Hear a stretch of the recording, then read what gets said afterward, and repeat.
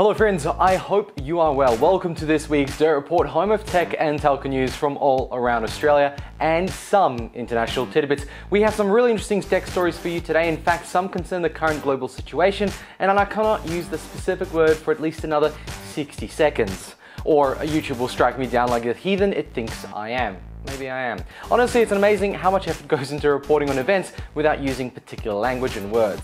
So, in today's show, we have Telstra payphones. Office of the Australian Information Commissioner finally goes after Optus, and NBN Co cancels a whole load of appointments because of reasons. Then on the international tidbits, we have Apple cracking down on its own users breaking privacy, but for a very good reason. Then on the tech related but pandemic news, we now have access to a digital vaccine certificate. Thanks for jumping in. Make sure to tap the like button if you like this video. It literally helps with the YouTube algorithm and subscribe if you'd like to support us. If you haven't already, check out the Nielsen NBN research panel, share your NBN speeds and get rewarded with points to turn into vouchers for places like Amazon and Bunnings. Links below for more details. So let's roll the intro and get started.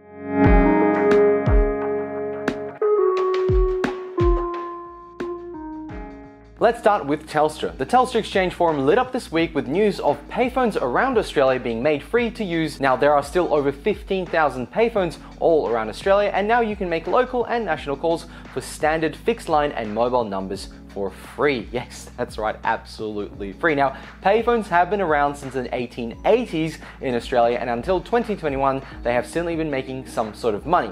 But today, however, within the advent of personal mobile devices that are smaller than a brick, these non time machine boxes have been slowly decaying and costing Telstra quite a bit of money.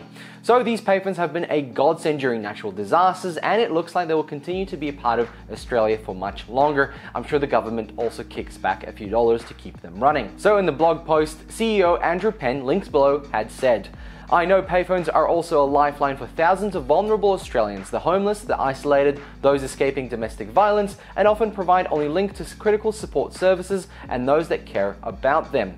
Last year alone, Australians made 11 million calls on payphones, which is mind blowing, including more than 230,000 calls to vital services like Triple Zero. So there's no doubt payphones are already often the lifeline that's there when it is needed most. Whatever you think of Telstra, this move is net positive for everyone. Let me know your thoughts below and tell me if you've ever had to use a payphone. I'd love to hear about that story.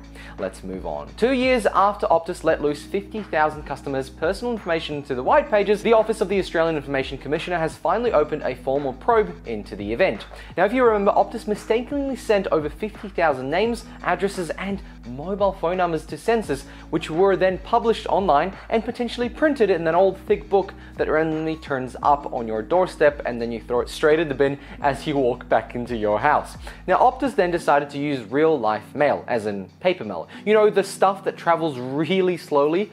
Uh, to contact the people whose information was leaked. The Information Commissioner statement said, the public disclosure of personal information against the wishes of individuals may have the potential to cause harm. The OAIC investigations can determine whether such matters involve systematic issues that can be prevented by ensuring the right practices are in place. Now, in line with the OAIC's privacy regulation and action policy, no further comment will be made while the investigation is ongoing. We shall see what the investigation reveals, links below for the full announcement. Let's move on. NBN Co had to defend the cancellation of nearly 58,000 appointments as this week the June Senate Standing Committee documents were released showing those numbers. It looks like during April 2021, NBN cancelled 30,184, which is about 15% of the total 195,622 appointments. Then in May 2021, NBN cancelled 27,790, which is about 13.9% of the total 199 742 appointments. You see, NBN had to explain why they had this many cancellations. They just said it's quite common for appointments to be cancelled, but they did give a few examples of the reasons why things might get cancelled. If a service is working and the appointment is no longer required, that's a reason, obviously, there is a network incident and multiple customers are affected by a mass outage, such as a fiber cut, well, they're not going to go visit that one person because obviously it affects a lot more people. They'll try and fix the problem at the top. Before the network incident is declared, there may be appointments booked by customers for service faults, despite the network component is the issue. So obviously the work being done somewhere else. These customers' appointments will subsequently cancel once the customer's fault is resolved at the network level, so that's why a cancellation can happen. Then, when a technician calls a customer on approach of an appointment, the customer may cancel the appointment as their service is working or they're not home during the appointment time. Now, sometimes the issue resolves by itself, i.e., the customer may have replaced some of their hardware, like the modem, which was causing the issue in the first place, so they didn't need to see an NBN tech out. That one, I think the RSP should be able to help you with, but nonetheless, here's a couple of reasons. I'd like to put it back to you. Do any of these reasons marry up to what you've heard or have gone through yourself? I'd love to know. You see, a few months back, there were some reports of NBN cancelling appointments without giving a clear reason, or just not turning up with no reason at all. So I'm keen to hear what you guys have seen. Alright, it's time for some international news, so make sure to like this video if you did and subscribe to support us. Now, a quick content warning this story has a sensitive topic. Apple has talked about privacy for a long time. You may even remember back in Las Vegas, they made a giant billboard on the side of a building touting that what happens in Vegas stays on the iPhone or something along those lines. Well, this week, Apple has announced that privacy will be broken for one very important reason protecting minors from sexual abuse. Apple has said it will implement an AI like system that will scan and check photos on iPhones, only in the United States for now, before they are uploaded to its iCloud storage device. The detection is to ensure that the upload does not match known images of child sexual abuse victims. If an image is found to match, it will trigger a human review, however, it will still be reported to local law enforcement anyway. Apple also said that the system is designed to reduce false positives to 1 in 1 trillion. Obviously, there's a lot of photos out there. So, how will this system work? Well, law enforcement officials maintain a database of known images and translate those images into numerical codes that positively identify the image but cannot be used to reconstruct them. That database will be stored locally on your iPhone. Apple has also used a technology called Neural Hash that is designed to catch edited images similar to the originals when somebody tries to get around this technology. When a user uploads an image to Apple's iCloud storage service, the iPhone will create a hash of the image to be uploaded and compared against that database that the law enforcement continuously update. However, photos that are only stored on the iPhone are not checked, and Apple has said users who feel their account was improperly suspended can appeal to have it reinstated. On the other hand, privacy advocates said the system could open the door to monitoring of political speeches or other content on the iPhone. Apparently, it's a slippery slope. Let me know what you think about this. Has Apple done a noble thing or is this a concern for true privacy? Are we down a slippery slope?